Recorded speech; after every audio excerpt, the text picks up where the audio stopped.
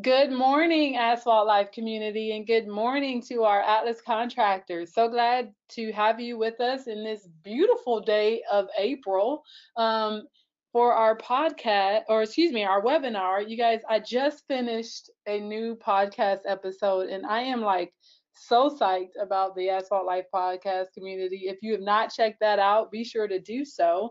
Um, I see a ton of you guys are currently getting on and into the queue for this awesome webinar today where we're talking about Facebook advertising. It's a deep dive.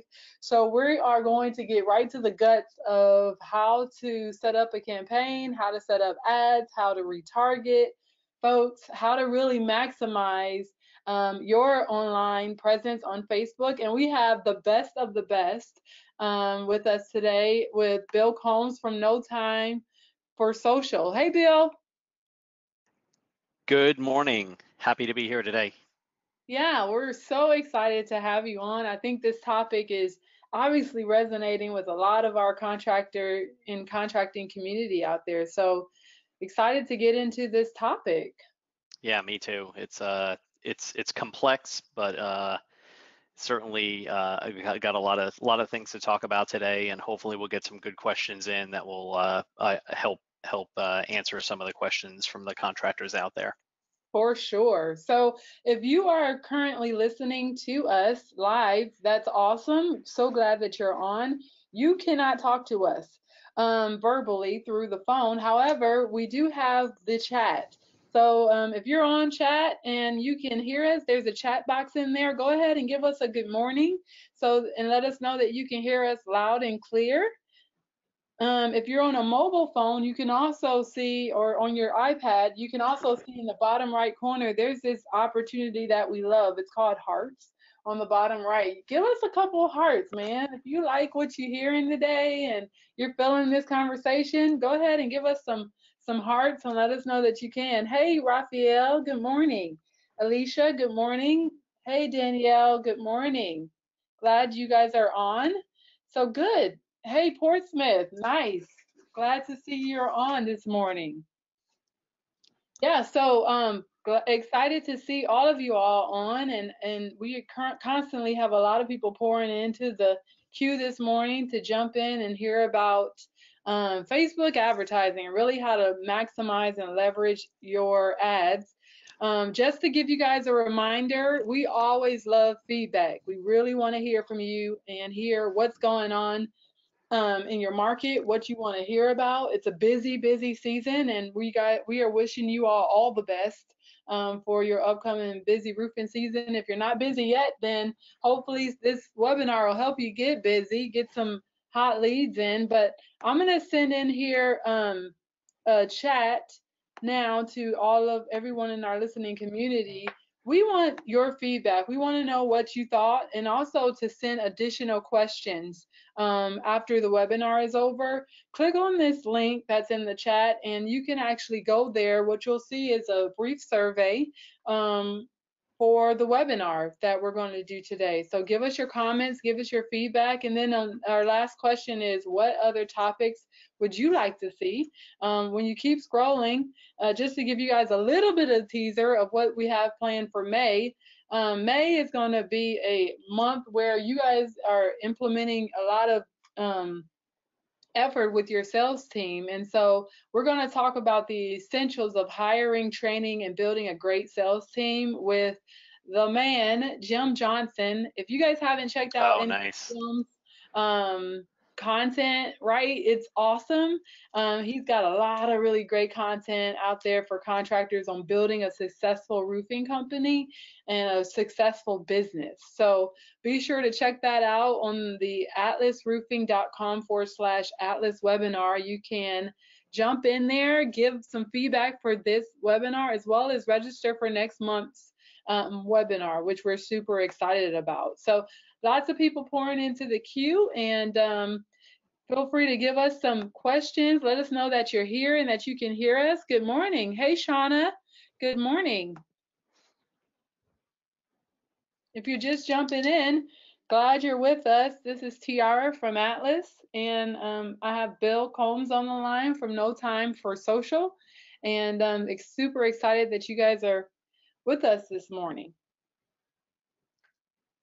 Hey, Kathleen. Good morning. Good morning, Christina. Thanks, guys, for giving, letting us know that you can hear us. Awesome. So just while we have a couple of minutes, what I want to know is how many of you guys already have an active ads on Facebook? How many of you guys are already running some stuff on Facebook? Yes. That's a great lead-in question. yeah. So a lot of you guys are. Danielle is, Christina, you are. Yep. Lori, great. So if you're currently running ads, you know, and obviously you're on here because you want to know how to do it better, right? How to really leverage um, your Facebook marketing and how to retarget. So I think this is a great topic for um, discussion today, and we definitely want to hear your feedback. You know, I think one of the biggest things um, in Facebook is that your contractors, I tell people all over the country, you know, if you're not currently utilizing social media, you're missing a big opportunity because word of mouth is now social media, right? It's where so people um, share their thoughts, their ideas, they share all their best selfies. It's all right there on Facebook. And so you have a great opportunity to literally um, engage with a community for a potential customer. And so there's a lot of really great opportunities for for leveraging that and how to really target through an ad campaign. So super excited that you guys are on. Be sure to continue to keep the questions coming in throughout the um, webinar. If you have anything that's burning, feel free to pop it in and we definitely will be monitoring those to answer those. But let's go ahead and get started. So today, let's talk about the agenda. So we are going to be going through a lot of really important content today. And today the intention is to do a deep dive. So I'm glad that a lot of you guys are already actively starting your campaigns and actively putting out Facebook ads. I think a lot of you guys are going to learn a lot of things from Bill. Um, but let's talk about the the first steps of of of building that customer acquisition funnel. And then getting actually getting your campaigns and your business manager account set up. Why you need a business manager account versus a typical manager ads account. Um, then we'll get into the facebook ads the different types of ads that you can run. Um, and then setting up the custom audience within that that. That's a very important segment that i think you know, separates what boosting is from actually setting up an audience. It's a very different world and very important when you're looking at actually running ad campaigns on Facebook. Um, next, we'll talk about next steps for your business success and then digital marketing team audit. Hmm. So that's a really um, challenging question, right? You think you, you have your digital team and you yourself and you, but what things are you missing, right? What things do you need to go back to your team or if you're, you know, leading your your company and you're the one putting up the Facebook ads, what assets do you really need to consider um, when you're out there building this business on social media? So great agenda ahead. And um, next I want to introduce Bill. So Bill Combes it founded Hail Watch, or as some of us know it as Anything Weather, back in 1995. Very established, and then um, after building Hail Watch, he was able to grow the company to 2.3 million in revenue by 2011. After that, in 2012, he founded UAS RC, which Bill, what does that stand for? So the UASRC was a uh, an organization that was built by uh, several roofing companies back in 2012. It stands for the United Association of Storm Restoration Contractors, and I believe it is still in existence today. Uh, I was with it for about a year and a half, almost two years, and then. Okay uh, while working on UASRC, I also started getting uh, more active into social media, really based off of my work with Hail Watch. Gotcha. So then after founding that in 2014, Bill um, founded uh, No Time for Social, which is uh, his company now. And he's the, also the co-founder of the Catalyst Group, um, which launched in um, 2018. If you have not or are not familiar with the Catalyst Group, it's an awesome organization that their whole goal mantra is to educate contractors to make sure that they're building their businesses the right way and building a healthy foundation for their business. And so Atlas is proud to be a sponsor for the Catalyst Group and um, partner with great companies like No Time for Social and Contractor Coach Pro, and the list goes on and on, Bill. So kudos yeah. to you for just, you know, really caring about the contracting community and really putting forth such a strong effort as we can see here in your background to really make sure that this is is is something close to your heart and making sure that it's built right. So thank you it for is. all you've done. Appreciate it, and thank you, Atlas, for coming in um, and and supporting the organization. Um, you know, the, the difference really between I think the UASRC, which I helped found in 2012, and the Catalyst Group is the Catalyst Group is a is a vendor alliance. So we're looking for best in breed, and we've got two to three best in breed of each of the different segments out there. So whether it's mm-hmm. single manufacturers or suppliers or you know supplementing groups, websites, marketing like myself. Uh, uh, I know you had Greg Hoffman on, another Catalyst Group member, talking about Google and websites a couple, maybe a couple months ago. So we really, really are focused on the contractor and and making sure that we can provide these crazy solutions that are out there and, and help guide them along. So it's great to be involved in that and uh, look forward to the great things to come in 2019 and beyond with that group. For sure. So, Bill, take us um, further. Let's talk about Facebook advertising and and sure. and what what is you know building our community and and the new customer acquisition acquisition excuse me funnel.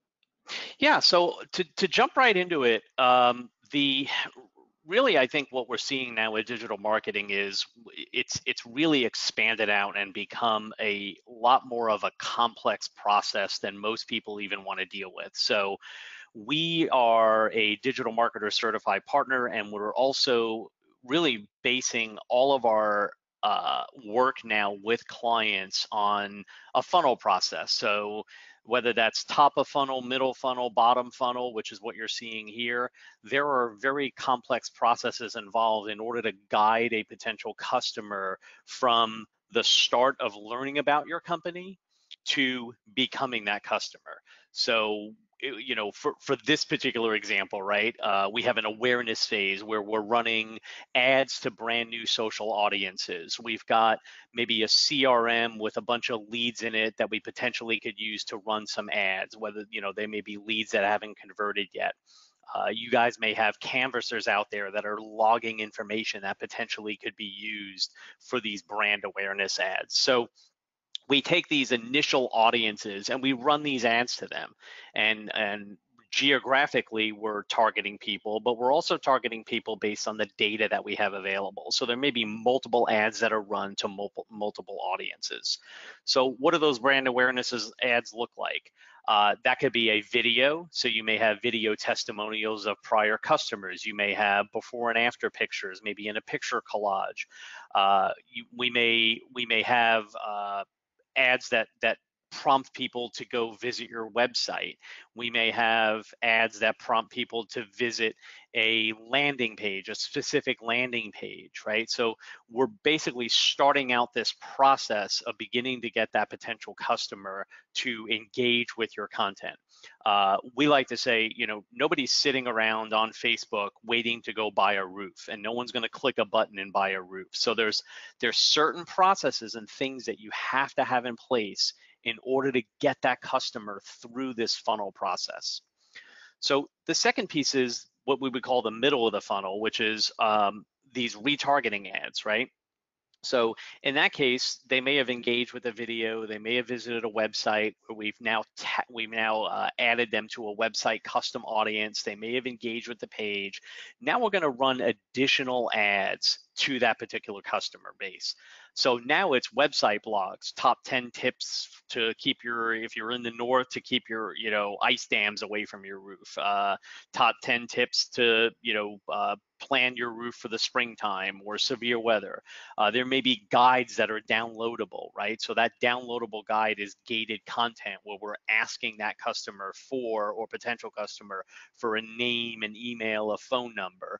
Uh, they may they may subscribe to a newsletter. So those are sort of that secondary push where the users have experienced at least one ad and now they're being pushed down this funnel.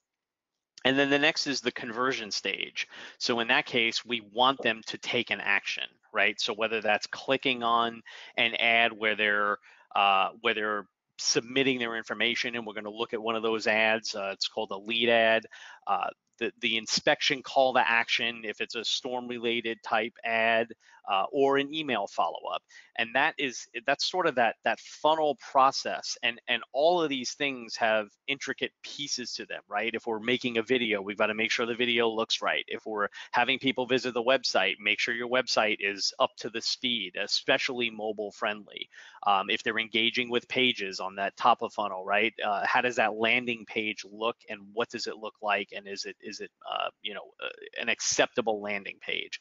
So all of these processes are, are things that are needed in order to have a successful digital marketing process in place. It's super complicated, but you can you can do it if you put your mind to it. So um, I think that's that's a really good kind of outline of, and this is a funnel that we use for one of our clients. So uh, it's it's real real life stuff that we're doing. Yeah, I love that. So lots lots of different ways to, you know, really there is a strategy to getting a lead, which is I think, you know, the biggest thing that you're saying here. There's definitely work and and that's put goals into creating that customer acquisition funnel. It's not as easy as perhaps just setting up a random ad, right? Yeah. Or boosting a post, which is what we've seen in the past, right? I spent a thousand dollars on a boost post and nothing happened. Yeah.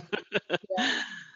Gotcha. So, so what is the next step to actually creating, once we have this funnel correct, what is the next sure. step to kind of creating our ad campaign?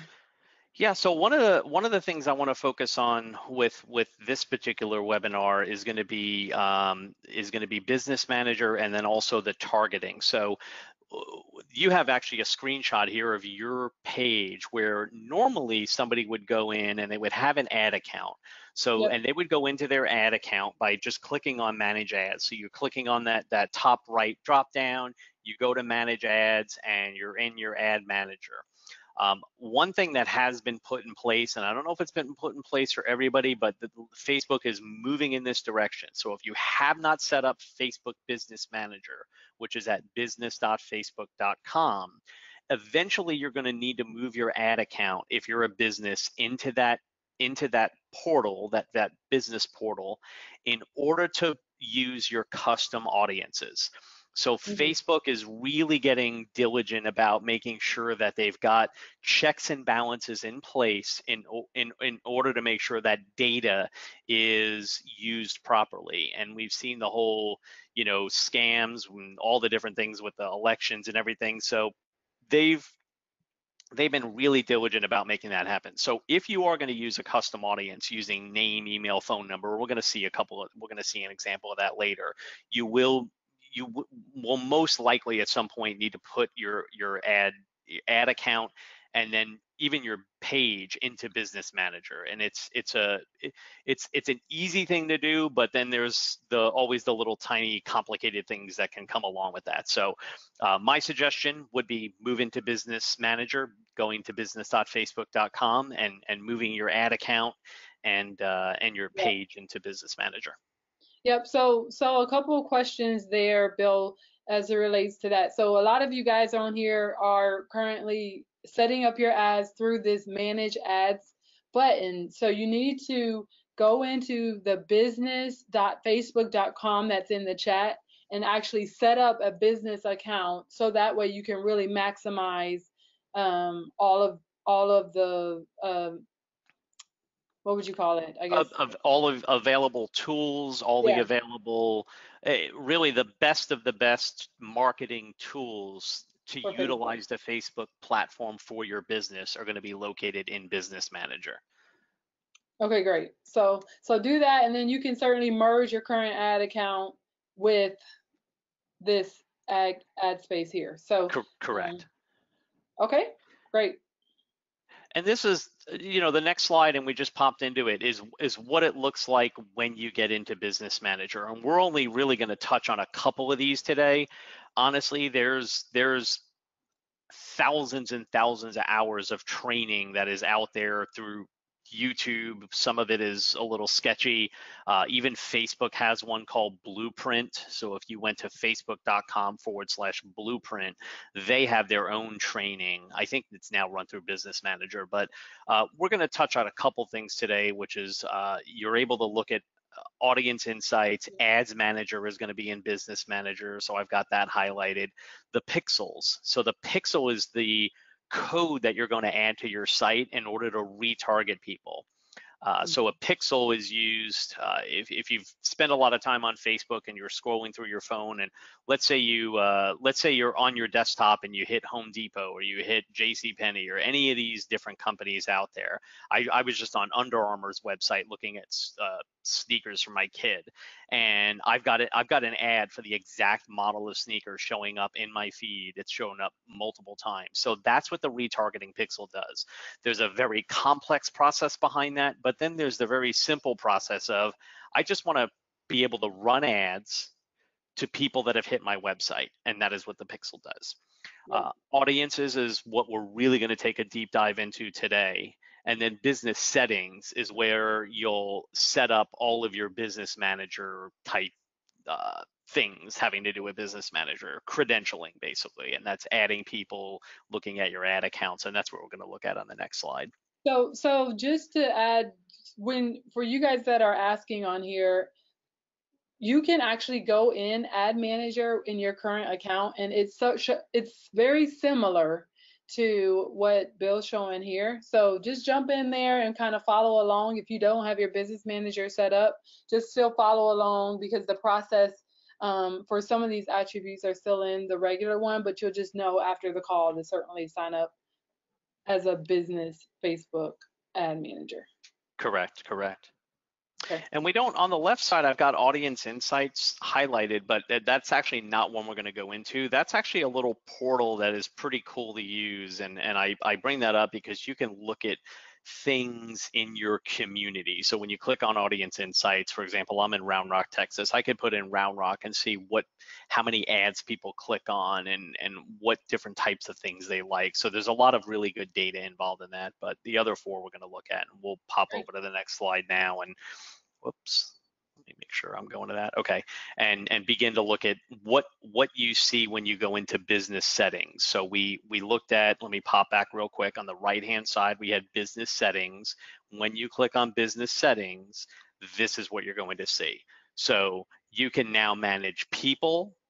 Uh, i've got people pages and ad accounts highlighted with the arrow those are the three things that I think are going to be the most interesting to everybody on this webinar today in the simplest way. I do have some of our clients kind of blocked out, but I've got a couple of them just so you can see what it looks like when you have a specific page in Business Manager. So for most companies, it's going to be your roofing company in there, unless you've got multiple pages. Uh, so and you can add those pages by just clicking on add on the top and requesting access to the page. So everything's based on credentials. Uh, so people allows you to manage the people in your business manager. Pages allows you to manage pages and ad accounts allows you to manage ad accounts. Um, obviously, you can see there's a wealth of additional things on this screen, Instagram accounts, uh, projects, data sources, uh, brand safety. There's all kinds of different things, and this does continue to evolve over time. Payments is going to be important, right? That's where you add in your credit card for making payments on your account. And for for companies that work with us, right? So when we work with a roofing company, we request access to their page we request access to their ad account and everything is run through our no time for social business manager. So it's sort of this portal for access and information. And it's it's really a they've done a really really good job over the past two years of getting this to the point where it's it's somewhat user friendly um, there's still some challenges with it but Um, I think if you go in there and you're using people pages and ad accounts, you're in good shape and then begin to expand out and look at other things. So I think that covers business manager. Any questions on your end, Tiara? Not yet. All right, great. Well, now we're gonna we're gonna kind of go in a different direction now. Uh, we're gonna we're gonna start looking at some ads. So we're gonna go through ads and then we're gonna go through audiences. And and these are two, I think, critical things for any company. Uh, so popping into ads, I like to use some examples of very successful ads we've had. Uh, the first one is balance claims, and you see this ad was was actually the date on this ad is September 2017 of 2016. Uh, the reason I like to bring this one up is first off, it's still an ad that's running now. The reason that uh, I had to, I, I, we've actually changed the ad because Balance Claims, who is a Troy Clymer from Balance, is another one of the co-founders of the Catalyst Group. Great company, uh, great team over there. Uh, so this ad would actually target roofing companies or people involved in roofing. And, and we have this as a case study on our page where we generated about 700 leads when the person clicks learn more, it actually generated a lead for them. And we're gonna look at a specific example of that uh, in a little bit. Uh, we were able to generate about 700 leads and over a million dollars in business for balance claims by running this ad to roofers. So the simplicity of it, right? We look at the graphic, more roofs, greater profitability, the balance difference, balance claims. Uh, we we look at the text on the top, right? What would you what could you do if you could maximize profits on every claim? When this ad shows up in the feed of the people that we're targeting, it sort of hits them pretty quick, right? Like who doesn't want to maximize profits? Mm-hmm. um, sort of that little catchphrase supplements hitting you by storm. So a yeah. couple things and and we've actually had to change up this this ad a little bit uh, based on some things that are going on in the industry but it's still it's still a working ad and it still actually is is a, a very a good ad. And you can see it's got 504 likes. Uh, it had 26 comments hey, and 79 Bill, shares. Yes. Hey I'm, I'm I'm just cutting you off just because no, it's okay. Some, some folks are saying that they can't hear. If you guys can hear us, oh, then give us a chat. I just want to make sure everyone can hear before we move on. Yeah, sorry about that. Um, can you okay. hear me okay? I can hear you good. Okay. Okay, perfect. So most of you guys can hear. If you can't hear, um, you won't be able to hear me singing this either. But um, okay, so most people can hear. So we're going to okay. move on. Yeah, usually potentially that might be an internet connection on there. Internet connection. I just want to make sure because I got okay. a couple of those. All right. Got it. So so yeah, but I think this is a perfect note. And also, you know, uh, what are your recommendations for visually? I mean, for for contractors yeah. trying to reach homeowners, what is the best, you know, call yep. to action or yeah, so let's bring up the second ad. So that's Arnett Construction and Roofing based out of uh, uh, the northern Indiana area. It's a sponsored ad. Uh, my, my recommendations, this is actually a drone video. So it would play as a drone video, up, up, and away, get a bird's eye view of some of the technicians bringing this damaged roof back to tip-top shape, right? So this this actually would run to an area that was affected, I think, by a windstorm up in that part of the area. So yeah. Yeah. Uh, in that yeah. case, we're we're getting people clicking on learn more. We don't actually see the clicks, but we know that the ad worked. Right. And also for contractors, you know, if you're selling Atlas shingles with Scotchgard, a before and after of a really streaked up roof with a oh, nice yeah. green roof would be an awesome image to pop in and say, you know, never have this problem again, or we're helping fi- we're helping fix your local streaking problem run an ad like that in a market that you're in and and you know we've seen a lot of um, feedback a positive feedback from those kind of ads of actual before and afters of jobs that you've done promoting that you promote you know install atlas shingles so I, I, love the before and after. That's that's a, another great way to to market. I would say um, one other thing that I see consistently is way way too much text. Uh, mm-hmm. Uh, I would say 85% of all content and ads, and, and it's probably going up now, is is being viewed on mobile. Uh, anything past that bottom line of services, if we kept going on and saying, you know, we're a great company, we've helped out, eh, anything past that is going to have the sort of the truncated version, meaning you're going to have to click in order to read the rest. Nobody's okay. doing that, right? So you want the video to play, you want your message to be clean and clear and crisp, three lines at most. Uh, sort of that secondary piece on the bottom where you've got the name of the company and then the call to action, right? So um, contact us today to learn more, the secondary learn more. So it sort of gives you this this very simple way to market and not overcomplicate it. Do you recommend having when they're setting up the ad, do you recommend having in the text what the call to action is or is the learn more at the bottom enough? Should they have contact us? Should they be poignant about having that in the communication at the text? I I traditionally do like to include that uh, in the text because if yeah. somebody's if some the the eyes are going to start from the top right? So oftentimes the eyes will start at the top of a you know if there's if a consumer is scrolling through right and all you were able to catch their attention and they stopped their feed and they said okay i've got this video. This looks really cool and interesting. They're going to start reading and they're going to read through as the video is playing and then they're going to know what they need to do in order to take the next step. So we usually do put a call to action in the text. Um, we're going to pop up a couple other ads here in a second and we'll take a look at the other two that we've we've run. Um, and, I, and and I may be surprised too that we don't have it in there but we're going to take a look. So let me yeah. let me actually pop over to the to the next two ads. So um, yeah, so in this case, we're doing a uh, Scott Feller from Feller uh, Kangaroo Roof in Austin uh, was running a No Roof Left Behind. So in this case, we do have the call to action in there, right? So vote for your favorite finalist to get a new no, new roof at no cost until December 16th. So in that case, we're asking them for vote and clicking on the either the learn more or anywhere in that link would have brought them to that call to action. Yeah. Same thing with re-roof uh, you know, uh, contact us today in the text and then with a bit.ly link where they can contact to get uh, from military members. So I think the, I think a, a lot of times what I've seen is uh, an overcomplication of text and, and not quality controlling the text in that ad. And then obviously what we're going to go into next is uh, or coming up here is the targeting. And I think the targeting is something that um, I've seen ads for roofers in other states in Austin. In fact, we're going to look at one next.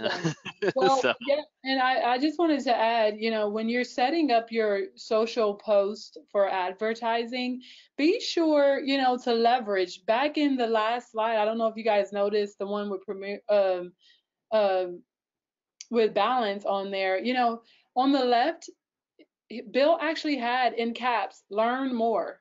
You know, yep. so so capitalize that call to action word vote could be all caps, you know. Sure. You know, whatever that call to action that you're looking for, leverage that and then have it be short and sweet and to the point. Like write out before you post it on a piece of paper or on your email, you know, what you want to post and then go through there and see the how many words you can delete with saying the same thing. So yep. I think it is, you know, minimizing the characters, making sure that you capitalize the call to action and that there is an actual call to action in the header as well as having that learn more button within your ad. So be sure that you're utilizing that plus your video, your before and afters to really drive home the point you're trying to get the homeowner to see. It's a great point. And there really is a science behind ads, right? I mean, you've got large companies like Coke and, you know, Bud mm-hmm. Light. Those guys, they have data scientists and scientists looking at text and ads and what to say and how to say it. So um, I, I, often think Facebook makes it so easy to boost a post that it's sort of the wild west where, you know, they they will show you your own post in your feed and say you yeah. could boost this post now to reach 5,000 people for $200, and people will do it because they they get excited about 5,000 people seeing their content, but the content's bad. The ad, co- the the copy of that post may be relevant for like a normal post on the page, but not necessarily relevant for an ad. So I think people will often spend money and get a little bit, you know, nervous and sometimes upset because nothing happened, but there's no call to action. They're just boosting yeah. a post, and it's yeah. really awareness at that point, but there, there's no yeah. call to action. Or, or, call to action, and then the other thing I would say, Bill, to piggyback on that is, you know, we got to make sure that within the post it's targeted correctly, and I think that's what you're going to talk about next. It is. It is. Before we go into that, though, we're going to look at some bad ads. Mm, so this this is actually the example that I was just mentioning. Um, so this ad came up in my feed, uh, in and I'm in Round Rock, Texas. It's a sponsored ad, so you could see on the left-hand side. We'll go from left to right here. So on the left-hand side, you'll see it says sponsored. Uh, if you live in the Orlando metro, you need your roof inspected ASAP. Uh, and then you can see the name of the company and a date, and then national leader in insurance, restore, dot, dot, dot, continue reading. Uh, I didn't realize this until I clicked on continue reading that they just took a press release that they put out and put it as a post. And then I believe may have boosted the post to everybody that liked their page. Um, I won't mention the name of the company, but I do, I believe I do like their page. So it's talking to people that are supposed to be in the Orlando, Florida metro area, but you can see that you know, we go from sponsored post to continued reading to press release all the way over to my comment, which says, I'm in Round Rock, Texas. You should fix your ad audience targeting. And then you also see, I'm in Delaware somebody else posted their their click to their mason company. There ended up being about five or six other comments mm-hmm. and then i believe they ended up taking it down or it may have run out of boost post money. So they may have just hit boost post to put a hundred bucks behind it. Yeah. But this is an example of of really sort of a waste of money right? I mean there's no need at all in an ad to to put a press release copy and paste. There was it's it's poorly done and I, I, I feel bad for companies that go out there and they continually do this, and I, and I see this a lot. It's unfortunate, but it, it does happen. Yeah. And, uh, you know, so if you're on the call, don't don't do this, right? don't boost press releases. Yeah. So that's an example of a bad ad. I don't want to harp on it too long, but let's let's look at what would happen if you ran a good lead ad. So this would be sort of an example of a bottom of funnel, although I think we ran this directly as a call to action lead ad. So the cool thing about this ad is, again, it goes back to the simplicity of it. Uh, this is actually for Green River, Wyoming. Uh, there was a hailstorm there a couple years ago. I just use this as an example because it's been a good ad for us, and uh, and it's a good example. So uh, it speaks to a couple things. One is homeowners in Green River. So it's speaking to the person that's looking at the ad, and they're going to look at it and go, because the targeting's right, I'm in Green River. What is the next thing? Get your roof replaced before winter starts by the only Owens Corning Platinum preferred contractor in your area. Now I know we've got Atlas hosting this webinar, but for for for sample sakes, they're an yeah. OC preferred contractor. Um, your roof may have been damaged by summer hailstorms, and then going back to what Tiara said, click Learn More to schedule your free inspection. This, the, the cool thing about this is the, the hail stops the person from going through their feed, right? They're going to, oh, wow, there's hail. Wait a minute, I'm in Green River. I can get a free inspection. And then the bottom part of that ad is the secondary sort of call to action, which is free roof inspections before winter hits. Click learn more. So this ad sort of encompasses everything that needs to be done right on an ad. Mm-hmm when the homeowner click learn more, and I believe we spent about I think we spent about a thousand to twelve hundred dollars, and I believe we got about sixty leads out of this particular uh, this particular ad. But when they click learn more, what happens? While they're on their cell phone and they click learn more, this is a lead ad campaign. So this information would pop up on the individual's phone it would automatically put name, email, and phone number. So there's a little risk here, right? I've, I've got my information in there just for the sake of this ad. But if I was in Green River, it would, and I was a homeowner, it would have bring, brought this information up and it would pre-fill this information. A uh, couple things on this, and I don't want to spend too much time on it because I know we've got some other things to get into, but you can add in other fields. So you could ask for address if you wanted to if you ask for more than four fields, I think there is a decrease, science-based decrease in whether people would submit their information. Uh, and the other thing is this information, because it's pre-filled, could be old information. So the potential risk is there that you would get some leads that may not be 100% certain. But the ad itself is really good copy. And if you're running that type of copy and that type of ad, uh, more often than not, you'll hopefully see success as long as you're using some type of funnel process. This would really be bottom of funnel, meaning you're asking for that lead after they saw an ad, after they saw some cool before and after Atlas photos of different jobs you've done, so on and so forth. So yeah. that's an example of a lead ad, and, and it could be a really useful tool if used correctly. Yeah. So, I mean, contractors that are on this call, when you're looking to try to get leads, right there in Facebook without having to actually acquire the lead outside or on your website. They don't have to go any further than that social media post. They click learn more or or contact us today and then mm-hmm. information pops up. So this is a huge lead generator. So if you're looking for an ad, try out the Facebook lead ads because it's going to help you to actually get live leads right there in the Facebook community. And for a homeowner, they feel more secure because it's already safe. It's already within their Facebook community and they have the choice to submit their contact information. So that's Correct. somebody that's really interested in getting, you know, some information from you. So Yep. I love that, Bill. Great. All right. So now we're going to pop into Facebook custom audiences. Um, when when we when we looked at the initial Business Manager page, there was a link for audiences, and that's where all of this information is housed within Business Manager. Um, this is really where what we like to say all the magic happens. you have various ways to create custom audiences. You can use the Facebook pixel, you can use customer files, you can use engagement. We're going to really look at the top two and the bottom one today. Uh, you can upload your customer files to try to target them specifically.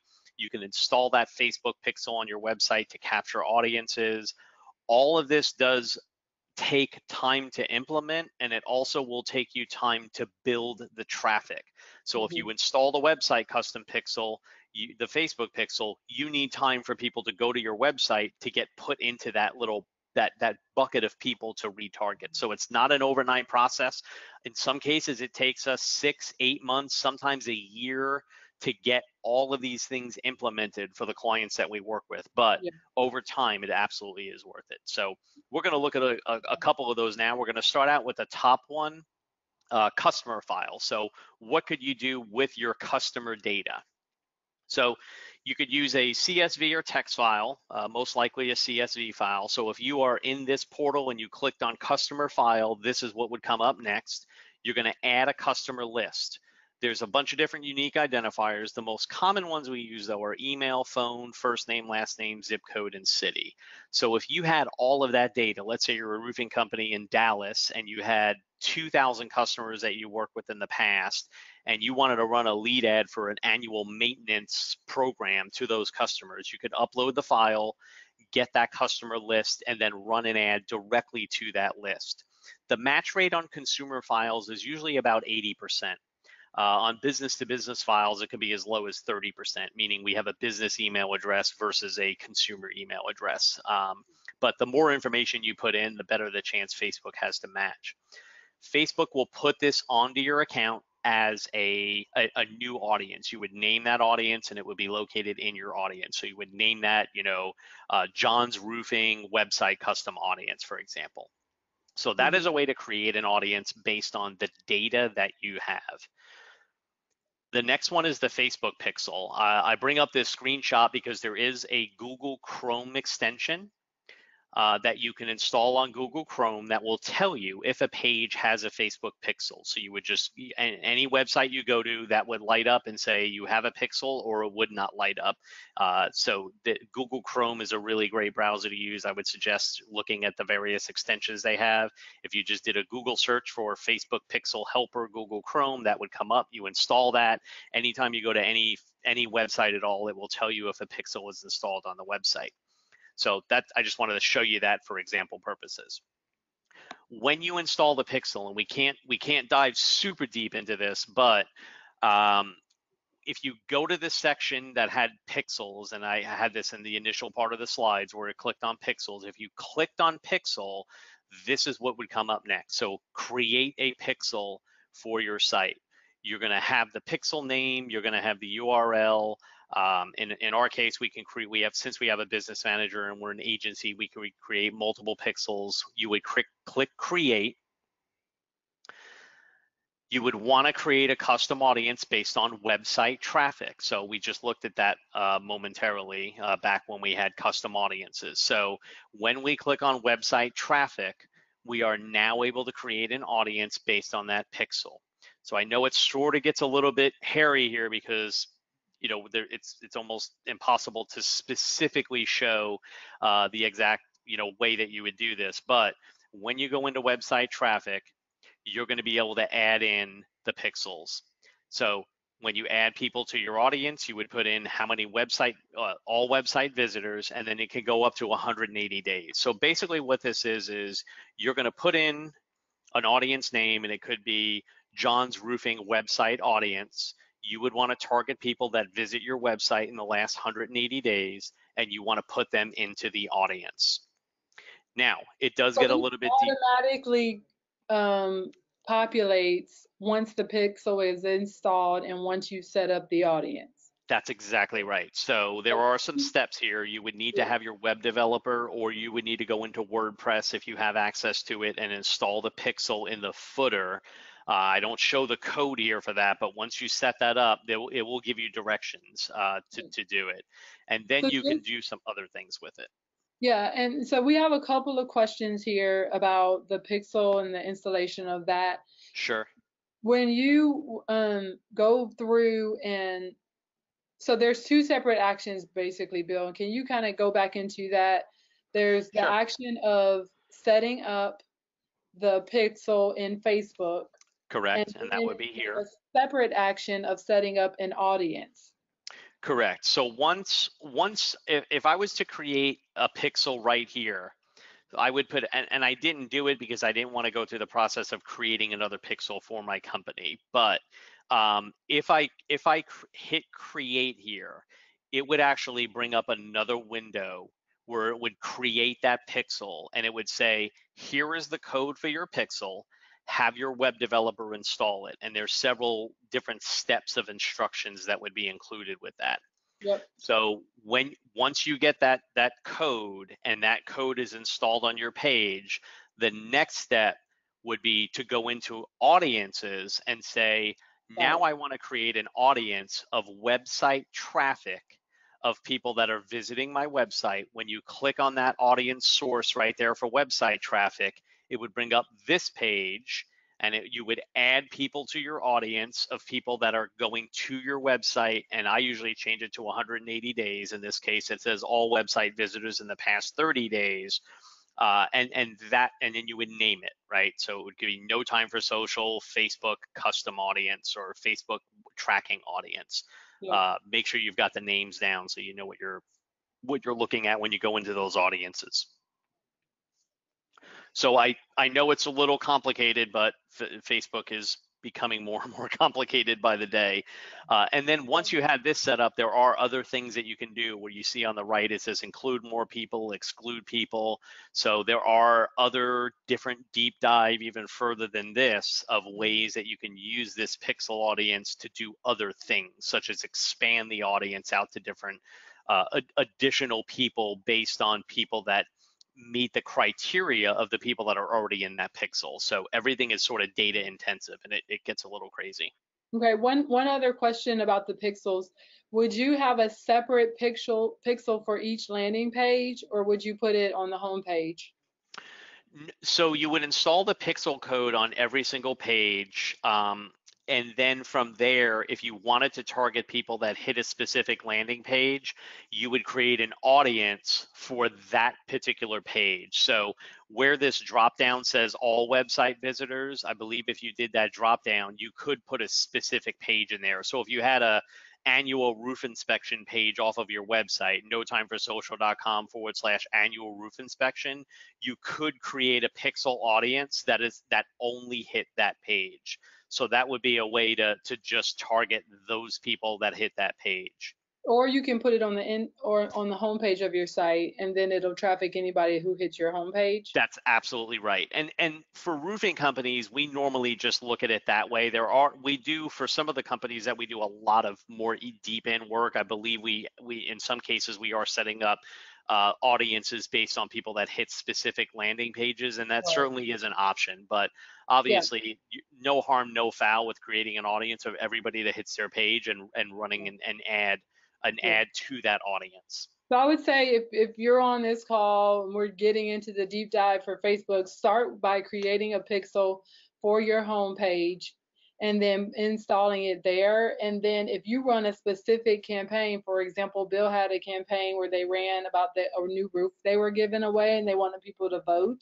Mm-hmm. So they were driving them to a specific page. That's where you want to create a pixel specifically for a page, but in most cases, you're just going to create this one pixel that goes on your home page and then name that audience of website traffic on my, you know, whatever that domain is and yep. begin to, that will automatically correlate. So Ashley asked, what is the purpose of the pixel? Or is it just to capture the data of the people visiting the website? So um, I can, why don't you answer that, Bill? Sure. So the purpose of the pixel is to set up an audience where you can retarget website visitors with ads on Facebook specifically. Yeah. So it's it's an audience of people that have visited your website and here's the deal, most people don't have tracking of people that visit their website. You may have 100 people come a day coming to your website and they may do nothing. Well, you right now you can't there are ways within Google you can you can retarget them, but with the Facebook pixel, you're now going to set up a pool of people that have hit your website. Now they're going to be pixelated, meaning they're going to have this this pixel where you can now put them in an audience, and when they're on Facebook, you can retarget them with an ad. Yep. So that is essentially how that circle is built. And it's beneficial because when you when you have a lead or someone coming to your site or someone on Facebook that's checking you out, they see a post that leads to your website, it's valuable because you want to be able to quickly capture that lead and then re-engage with them as much as possible before they make their buying decision. So Correct.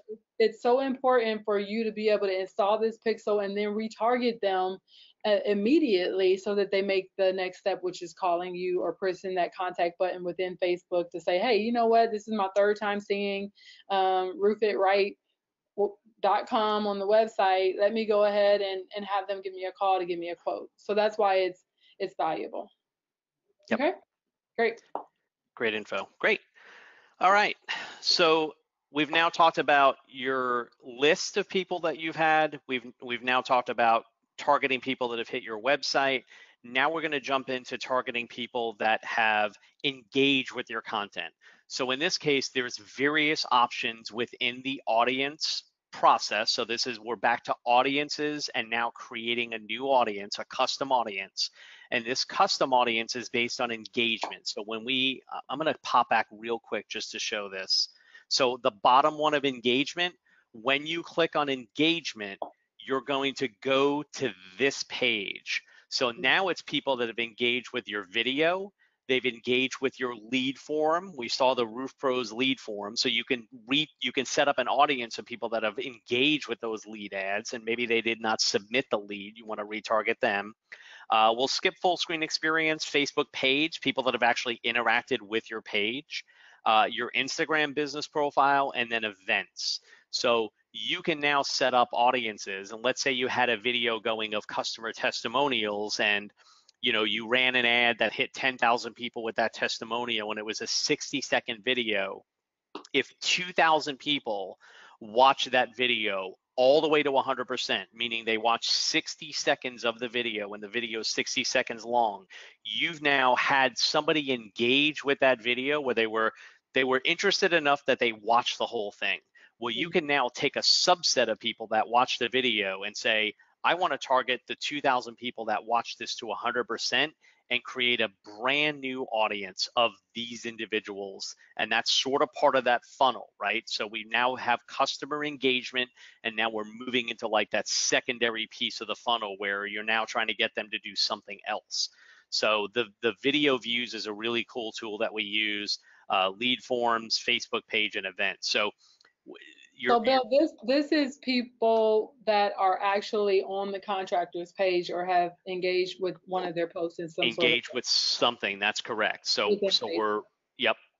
So in this case, it's another sort of engagement tool. So we haven't really touched on the cold audience yet, meaning people you don't know at all.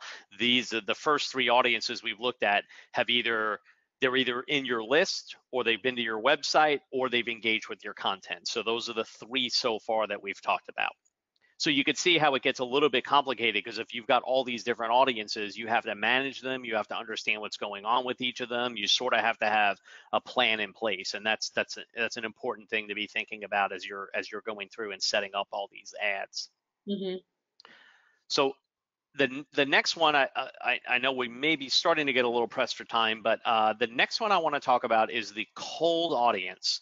So this is the area where you would click saved audience. I want to create a saved audience, and this is people that don't know you at all, right? So if you click on saved audience within Facebook, the first thing that's going to pop up is this page. And you can see on the top right of that audience, it says potential reach of 230 million people. That's the entire audience in the United States between 18 and 65 plus that you potentially could target. You could actually drop that age down to 14 and it would add a few more in. Um, the saved audiences on Facebook are really to start to narrow down a geographic audience of people that you would want to force feed content to, meaning they don't know you, you don't know them, but you want to target them with an ad. So, and, and then as you target them with an ad in the saved audience and they start to get into one of the other audiences we've talked about, they're now sort of a captured audience. But this is a cold audience. This is somebody that you've you've really never talked to before. And the demographics on this, especially for roofing companies, is going to be super important, especially geography. Uh, if if if any of you guys work hailstorms, you'll know uh, I I've spent many many years, you know, creating hail swaths and and and marketing hail data.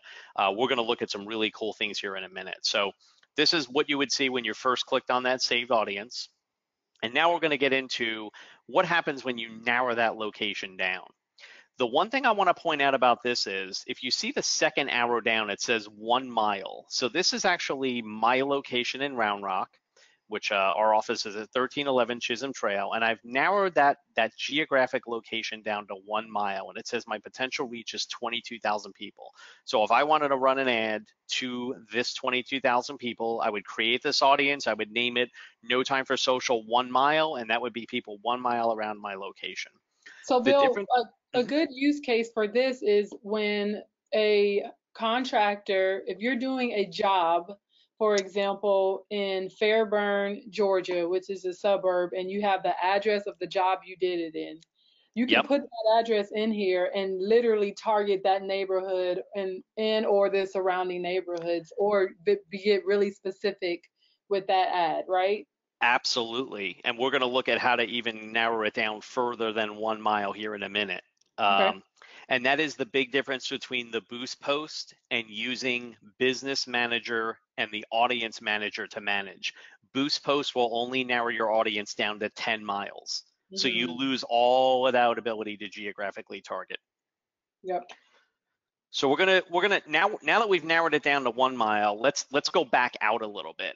Um, we're now gonna look at Pflugerville, Texas. So if I wanted to just target Pflugerville, Texas, you can see my drop down there specifically states Pflugerville.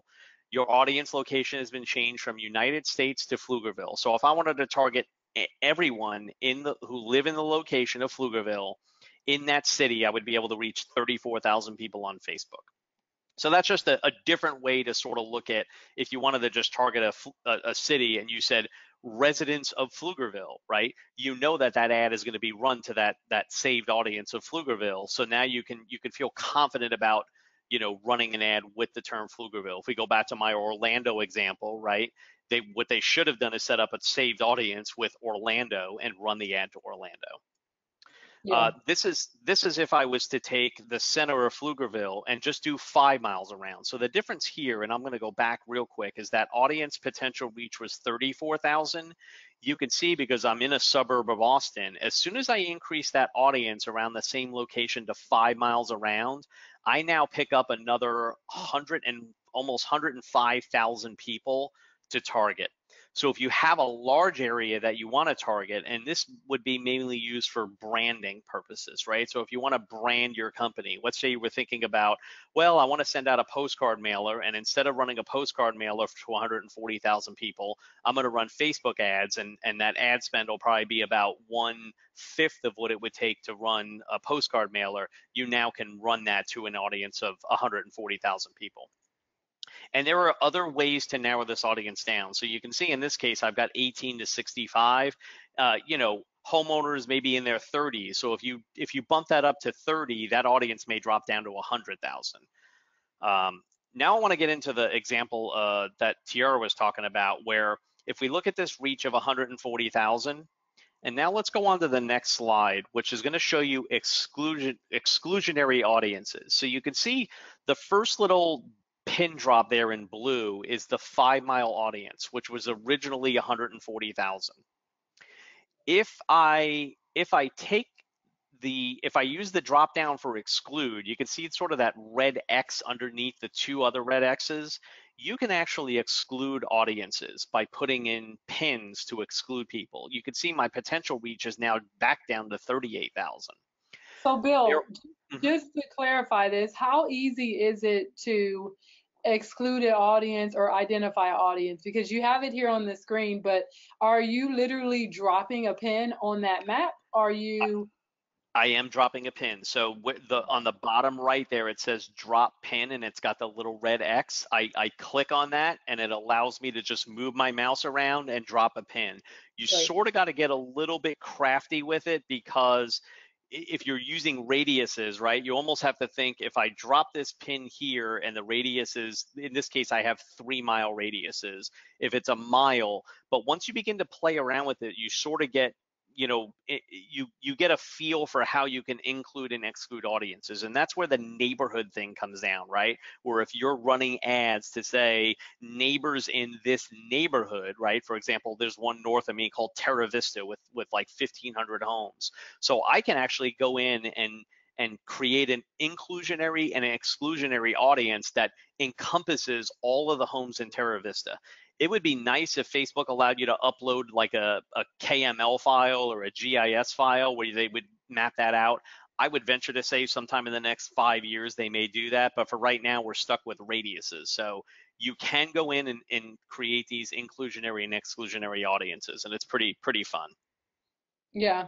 So one of our contractors, John, said, you know, so a hailstorm hits and you can actually advertise by street via Facebook and then be able to link that with your EagleView report on the job site. You know, like you can get very specific. Very specific, very creative, and very and have some fun with it. There yeah. there absolutely are ways to do that. Um, you you just gotta it it you know you gotta get in there and you gotta do it, and it takes a little time, but uh, yeah. certainly. Yeah, and, and and also down here on the right hand panel, it says estimated daily results. So that mm-hmm. kind of gives you a skew for, okay, here's how much of, you know, reach you can hit based on how much you spend, right? Correct. So spend does have a lot to do with this. Um, in this case, I, I don't have the spend listed on here. Um, I think Facebook may pre pre-fill that with an amount, mm-hmm. um, but one thing I would like to point out, and I'm glad you mentioned this, and, and again, it does, uh, we could spend four hours on a webinar here and, and talk mm-hmm. through all this stuff. It, it, would be an all day thing. Uh, there, there is a, a daily spend amount and a lifetime spend. I do like to tell people to use lifetime spend and set up a range of dates that you want to have that ad run, Facebook will run that ad spend effectively over that period of time. So if you ran an ad for two weeks at $300, Facebook's going to know when people are on and off Facebook to be able to run that that effectively. If you ran an ad for 14 days at $25 a day, you're forcing Facebook to spend $25 a day. So we like to use lifetime ad spend. It's just a preference and a suggestion. And, and really we work, we have a Facebook partner manager that we work with and, and that's been his suggestion as well. Yeah. So good, good point on that, on, on how much reach you can get. So just to give you guys a quick time check, we're at 10:56 Eastern. We're gonna go to about 11:15 so that um, give Bill a little bit more space. So if you're able to stay on um, till 11:15, we'll we'll we'll definitely have a hard stop at at that time. Oh, All right. thank you, Tiara. Of course. Great. So yeah, so so now we've we've sort of talked about the the various audiences and and I think it's important to sort of remember how all this ties into sort of that funnel process. So we talked about people that visit that that you've got lists for. So you can set up an audience of people that you've got lists. You've got people that you're retargeting from visiting your website. Uh, you've got people that you're retargeting based on the content that they've interacted with. And now you've got this cold audience that you want to run ads to. So all of that kind of tied together, you could be looking at 15, 20, 25 different audiences, depending on how complex and complicated you want to get it. So Mhm. how does all this fit together? Uh, I'm gonna I'm gonna bring up the the customer acquisition funnel again, just to sort of you know, we talked through all the ads and running it. What does that really look like? So, starting from the top, brand new social audiences. Those would be the saved audiences of people that have never interacted with your content before. Yeah. That's what we just talked about. The CRM leads, those are people that are your customers. So you can upload those leads into Facebook. Uh, it could be leads, it could be prior customers. There's different things you can do with those when you get them in there. Canvasser areas, obviously, if you're using some type of tool like, uh, you know, like uh, Sales Rabbit, for example, Sales Rabbit is a great tool. Uh, all of that information could be combined together to begin to run these brand awareness ads to get people to interact with your content. So, what happens next? Well, now we're going to start creating some other audiences. Yeah. Is there a question? Mm, Yeah, there is. We have a Okay. couple of questions, and I just wanted Sure. to say, you know, we're through the the most of the meat of the webinar, but there are some really good questions coming in. So if you have a Excellent. question, go ahead and put it in now, and then we'll be putting those in the queue to ask Bill, so that we, we can Excellent. definitely get your questions within the next 10 to 15 minutes. Also, um, there's a lot of questions coming in about spend, right, Bill? How Yep. much spend is recommended based on the funnel with the different ads, um, cold calling? How does all of that work together, and how does Facebook really help to determine, you know, how much spend is is re- required versus Yep. what's recommended? So I guess, you know, a lot of our contractors are looking to you for a recommended spend Sure. to perhaps start with. Sure, sure. Great, really great question. Um, so what what I like to say is ad spend is 100% based on the audience size. And the easiest, I guess the easiest way I like to equate that, especially in the roofing industry, is if you were to mail 5,000 postcards, 50,000 postcards, or 100,000 postcards. Think of the the 5,000, 50,000, 100,000 as your potential audience on Facebook.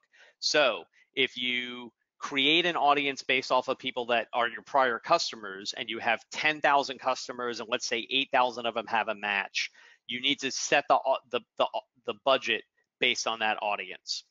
The same thing with the cold audience, right? We saw that Pflugerville was 140,000 and I mentioned that example of 140,000 postcards versus running ads.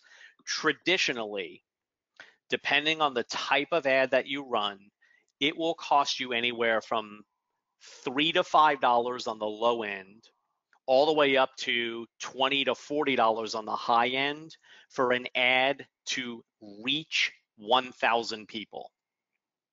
So if we if we were on the high end, if we had let's say we'll use a uh, you know 10,000 for example, right, Mhm. as as an audience, if it costs us ten dollars to reach 10,000 people or a thousand if i'm sorry if we were trying to reach 10,000 people with an ad and the cost to reach a thousand people was $10 it would cost me $100 an ad spend to have that ad potentially reach 10,000 people And if you if you went up to a hundred dollars, right, you're now talking about um, I'm sorry, if you went up to a hundred thousand people, you're now talking about a thousand dollars. So Bill, so, most people, you know, get I guess the one of the the things is in Facebook, will they show you okay, at the spin level how much reach you're to have based on spin? Yes, so that's that's in this area here. So I just went back off the to the saved audience. So when you set up the audiences and the ads, they will begin to tell you when you're creating an ad how many people potentially will be reached and what those results will look like. And you can actually go in and say, if I spend $100 lifetime, those numbers will begin to change. If you moved it from 100 to 1,000, those numbers will begin to change. There is a point where obviously you you can try to force feed ad spend and say I want to spend five thousand dollars to reach you know these this very small area. Facebook will in quote throttle an ad if you overspend meaning your frequency of that ad hitting that that consumer is too high or they start getting negative feedback negative feedback would be somebody clicking on the top three dots on your ad which honestly i don't know if half if if 5% of the country even know that exists, but you could yeah. click on an ad and say, why am I seeing this ad or hide this ad because I'm seeing it too much. I don't think many people do it, but it is an option out there. So the ad spend is something that is is sort of a a a, a big a big thing to tackle. But mm-hmm. I would say if you take anything out of this, it would be reaching people anywhere from five dollars all the way up to forty dollars to reach a thousand people. And then when you when you start to see this potential reach you can almost put a spreadsheet together and say if it's five dollars to reach a thousand at the low end or forty dollars to reach a thousand at the high end just do 38 times five or 38 times 40 and then you would sort of get a range of what it would take to reach that audience um, yeah. You may want to reach them more than once, which means you want to double up that ad spend. That is a whole other creature in itself, and it's something that even we're having to play with and toy with over time as we begin to build ads. Yeah, I would definitely it, say continue to get mm-hmm. in here, build start building and saving audiences and you know i mean bill you will probably agree it's something that you kind of have to touch you know and go back to to tweak yep um, to make sure your spend is is being effectively used against where you know the audience and tweaking your audience and then tweaking the spend and you know oh, make sure that you know you are really leveraging and getting the right leads but absolutely. you know facebook again not to scare you from doing it. I think facebook is really helpful in that they're going to walk you through. On the right hand side they're going to say hey here's the audience size we got now. We're up to 38,000 people and that means 7,000 to 25,000 can be reached per day. You know and then they'll go under there and say you'll have a little bar where you can increase or deduct the spend and they'll actually these numbers on the right hand side will continue to change. So you yep. can see you know where you're at and start where you're comfortable with and you know put you know a hundred dollars into an audience and try it you know or put 200 bucks into an audience and try it and, and then go, grow from there. You may even decide you know one of the i heard a contractor say recently that he doesn't do any print spend anymore. He just doesn't do newspapers. He doesn't do anything print. It's all digital. So you may take wow. your spend yeah. from one bucket and move it to Facebook or Instagram or what what have you. So play with it and don't be afraid to to dive in there and let Facebook help you. Yeah.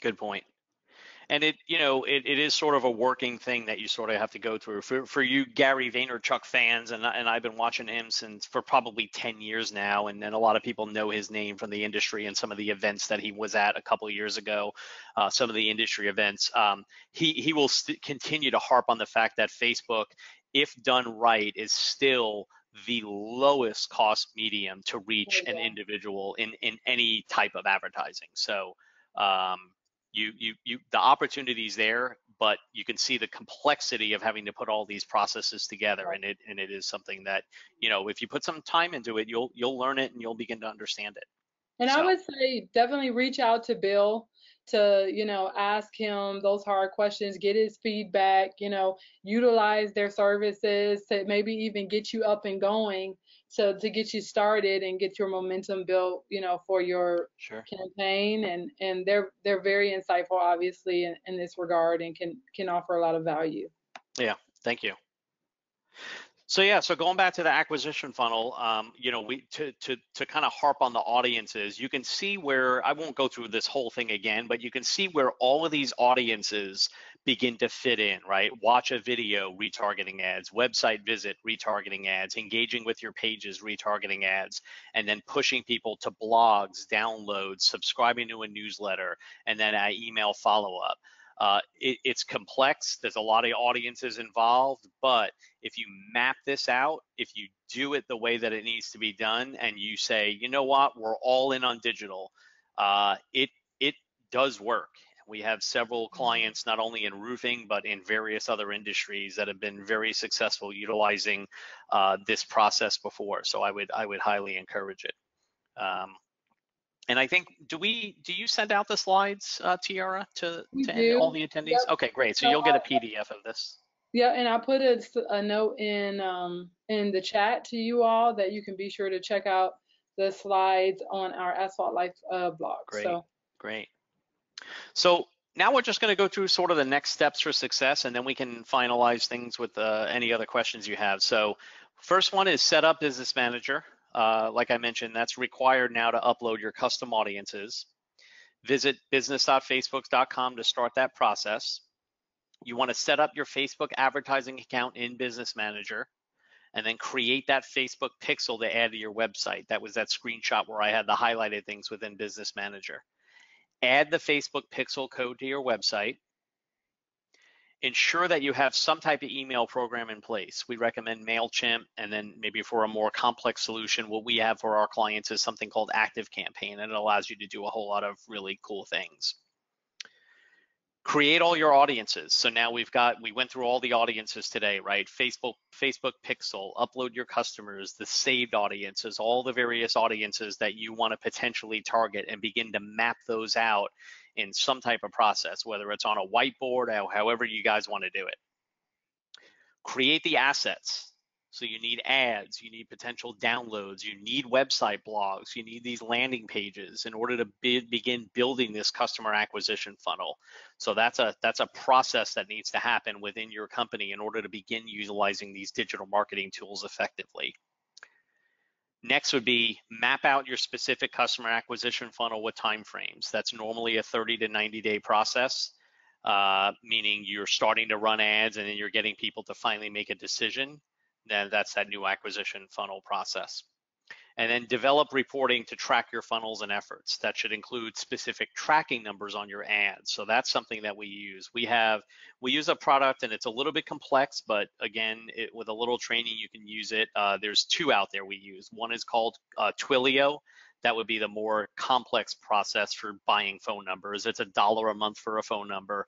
The other one is called CallRail, and CallRail is another way that you could set up tracking phone numbers and have all kinds of different numbers in your ads. I would recommend tracking numbers on everything you do, whether it's uh, your website, uh, postcards, any kind of marketing material. I mean, heck, you can even have sales reps with their own tracking phone numbers. At a dollar a month, you should be able to have 40 or 50 different numbers for your company and be able to track everything happening. That may be a little over the top, but that would be an extreme example of utilizing tracking phone numbers with everything you're doing within your company. Uh, and then work and rework the process depending your audiences, the budget, your success over time. Uh, it really sort of comes full circle at that point of building the acquisition funnel, utilizing the audiences, and making sure that you've got the processes in place to make it happen. So, what is a tool you can use? One of the things that we often will not require, but we recommend our customers and potential customers to do is a digital marketing team audit. And really, the first four are probably the most important. The, the last four are important, but uh, probably not as important as the first four. So we talked about the conversion funnel. We talked about the content marketing, and we've actually got a tool. I'll show you the, the website for that tool next. Uh, paid customer acquisition, so that's Facebook ads, Google ads, and then email marketing. If you had those four solid, and what I like everybody to do is write the name in in that empty box of who's handling that for your company, and then score them on a score on a scale of one to ten. One is we're not doing anything. Ten is we've got this down pat. Uh, if you were doing all eight of them, we would want to come up with a final score for everything, right? So social and community management is who's out there running and managing all your social, any kind of community management going on digitally. Search marketing is obviously people that are searching. So that would be Google and any other type of search marketing. Uh, analytics and data science really just goes back to reporting. And then testing and the conversion rate optimization is the funnel that you're using is it converting? So being able to use reporting to figure out we had somebody come in and they ended up becoming a customer. So again, complex digital marketing I think is a lot more complex than people really mm-hmm. feel like it should be or could be, uh, but it is its own business now, and uh, it's it's pretty pretty interesting. So I would you know do this for your company at least the first four and figure out where you're at, and then put a plan together to say how are we going to get to become 10 by like you know January of 2020. And if you put a plan in place and you make that happen, I think great things will happen for for every one of your businesses. That's awesome. Cool. So, so um, we. Oh, I'm sorry. Oh, questions. Yeah, let me go back and then let's get to some questions before we go to the additional resources. Well, no, they were just random questions. So why don't you go ahead and give them the resources and then we'll sure. ask questions. Excellent. So we have a couple uh, resources out there. One of them is a uh, course called this one called Facebook Basics and one called Facebook Marketing for Roofers on the left-hand side. Uh, that's actually at our website, trainmeonsocial.com. Uh, I, I usually will offer an hour to an hour and a half of free consulting with a screen share after the course is fully completed uh, on the on the on the paid course. So the the basics is just a 30 minute class. We'll just go through and show you some cool things to do. Uh, a couple of things that we talked about today. Facebook marketing for roofers is a deep dive. Some of the class material is from 2016, so there are some outdated things in there, which is why I do like to offer the hour and hour and a half. But a lot of the information in that class is still relevant to beginning to build your digital marketing. So it goes a lot deeper into what we talked about today and goes through a lot of the specific things that you would need in order to be successful. Uh, okay. The other one is social media stockpile. So social media stockpile is a monthly content bank. So if you're a marketer, if you're a roofer or you have somebody in your marketing department that is struggling creating content, we give you anywhere from 18 to 22 posts that are created with videos, with graphics that you can use for your company on a monthly basis. Uh, we also include two to three newsletters and two to three blogs that are branded for that particular month. And all of that content comes to you in a marketing package every month. We also offer our Birdeye review management tool as part of that. Uh, so sms.notimeforsocial.com is our social media stockpile, and that is uh, a, a, reasonable cost. In fact, I think we even have some better pricing that with, than what's on the website right now. So if you want to reach out to me, my contact information is coming up, and we'll leave that slide. Uh, I'll actually we're going to go into Q and A now, but I'll just leave this slide up for you guys yep. to to take a look at. Perfect. So I'm just gonna um, shoot out a couple of last questions. I know we said we would have a hard stop at 11:15, but if you guys uh, I want to be able to prioritize your questions um, since you guys took the time to be on the webinar today. So we're going to hit the questions that you have in here. Once we've answered yours, if you want to jump off, feel free to. Um, for those of you that have to go, thanks so much for joining the webinar. I did yes, put thank you so much. throughout the um, chat that are resources that are call, call outs to what Bill was referencing. So be sure to check those links out, and you can definitely log into Asphalt Life at um, atlasroofing.com forward slash asphalt life. And the podcast or this webinar will be up tomorrow um, on there for you guys to check out as well. So Excellent. on to questions, Bill. Um, the first one is about fake ads and is that a concern um, on social media? And then this um, so I'll let you answer that, and then there's a part two to that. Sure. so I I think there is a, a tiny bit of a concern, but I wouldn't necessarily I, I wouldn't necessarily be worried about it. I think there were more issues on the political side of the world going on with Facebook ads and fake ads. Um, I will tell you though that we did come across an ad the other day that a sort of like, I, and I, I don't want to disparage the company, but the name I can't get down right now, but it was similar to like a Valpak type company that actually was running an ad for one of our clients that had a roofer that was not tied down and they actually ran that ad as a sponsored ad on Facebook through their page without our client's permission that obviously is an issue so and and that type of ad should never get put through without facebook looking at it so we are looking into that uh, there are obviously as the scale of this this product uh, has reached 2.5 billion people uh, worldwide. Obviously, there's going to be some scam artists out there. Sure. Uh, I would say concentrate on what you're good at, meaning if you use the tools in here and you use them properly, I, I would not worry about fake ads running unless you can find ads that are running for your company from another company like we ran into. Yeah, and then definitely report those, which you can do right there in Facebook. Yes. Um, the next question is about Bitly do you recommend Bitly for links um, from within a post, or do you the shortened links, or do you recommend you know just popping in the URL direct from whatever your blog site is or whatever you're linking them to? I, I, do recommend Bitly. We actually have uh, a Bitly account and we use Bitly for links for our clients. So I, I don't think Facebook disparages Bitly links uh, within content or within ads. Uh, they may, I, I, can tell you that one thing I would like to see you do if you are, if we're on the link question now is if instead of linking to a YouTube video, upload native video versus a YouTube link. That may be where links get a little bit uh, questionable in that Facebook and Google, which owns YouTube, are, you know, they're not they're not the best of friends. So I would say uh, if you're going to upload a video, upload it natively to Facebook versus posting a YouTube link. Okay. Um, what about spend for a going back to the spend conversation, which yes, you know is a big deal. For a startup company, you're just trying to get a cold audience started. You mm-hmm. know, where do where do they start? How much would you say if, if it was your client, you know, here's sure. where we're gonna start with financially?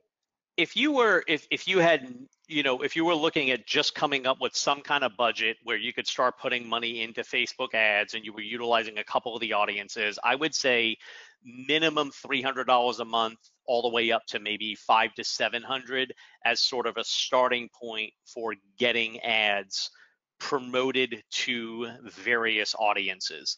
You need to be a little careful in that, um, you know, you, you want to make sure that you're not spreading that money too thin by having multiple ads running. So I would say maybe set up a systematic process to say we're going to run ads to our current clients with a list. And if you if you're just a startup you may have to let's let's go that route. If you're just a startup run it to a saved audience and make mm-hmm. sure the saved audience is not so large that the ad budget is not enough to reach them. And that's sort of where that that that idea of setting up a spreadsheet saying it costs anywhere from five to you know 20 or 40 dollars to reach a thousand people. If your audience is a million people you're you you have you better have the ad spend to try to reach that.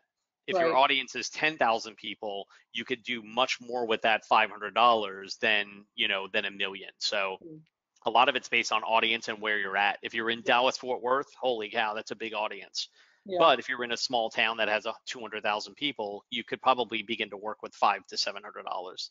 Right, and and be sure to rely on Facebook to look at the reach because they're going to help walk you through how many correct. people you reach for that against that amount of spend. All correct, right. So correct. the next question is um, going back to the saved audiences. What is the least amount of info that the CSV file upload will require? Um, I think they will allow you to upload a hundred contacts. The well, no, in terms of oh. contact information. So is it name and email? Oh, um, yeah. I, I think if you get into just putting first and last name, you may run into some issues, right? Because that's going to be too common. But um, I would say you would want uh, at least a first and last name and a phone number, or first and last name and an email. So email and phone number are going to be the two critical things. And, and I know roofers are now doing a lot better at getting email addresses. I would almost say if you're not getting email addresses for your clients, make that an immediate uh, process implementation for your company.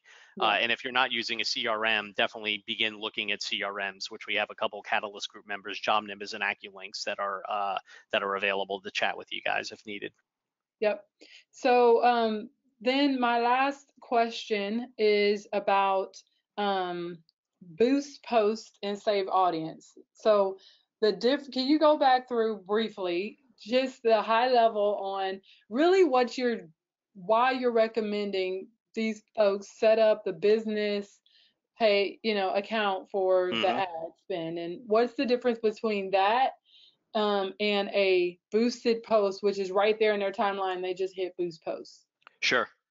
So the difference between the two is your ability to do a lot more with when you're not using a boost post. So I would say the one critical thing is boost posts will only narrow your audience down geographically down to 10 miles. So if I was to if I was to put an audience in Round Rock where I live and I go to 10 miles, I believe that the audience would go up to about 500,000 people because I'm starting to get into Austin a little bit. Mm-hmm. So I don't have the ability right now to use all of the tools available within Facebook, within the audience section with Boost Post. Now, there are some creative ways if you set up the audiences that you can run a Boost Post to an audience, but it does get a little complex. So I'm not saying boost posts are 100% banned from our company, but if we're using them, we must have a specific audience set up that we're running that boost post to. Um, so the, the the the other reason you would want to get a you would want to use Business Manager is if you're running a boost post and you never set up anything within business manager you won't be able to upload your audience so you won't be able to use that custom audience option so the the the the, the business manager is really just the preferred and best methodology in order to properly run ads on facebook so i would say there's a it, boost post is not an improper way to run ads you just lose like 80% of the abilities within the Facebook ads platform if you're just using Boost. Okay, great. Um, all right. So um, if, if I did not get to your question, I apologize. I know that most of you guys have hopefully had most of your questions answered. Be sure to reach out to Bill. I'm sure he will be more than happy to follow up for any follow-ups. Just mention this webinar and um, he'll give you guys some time to just kind of have a one-on-one follow-up quickly to answer any additional questions that we didn't get answered on this webinar. But Bill, um, once again, thank you so much for you. just your investment of time. And I think, you know, this information was golden. So thanks again. Oh, I enjoy I enjoy talking about it. So I hope to see uh, some of the attendees out at some of the events that that we attend, and uh, yeah. look forward to uh, chatting with anybody that wants to follow up. All right, guys. Well, hey, we will talk to you soon. Be sure to send us questions and complete the um, online survey. And don't forget, live, roof, play together. Thanks. Bye. Thank you.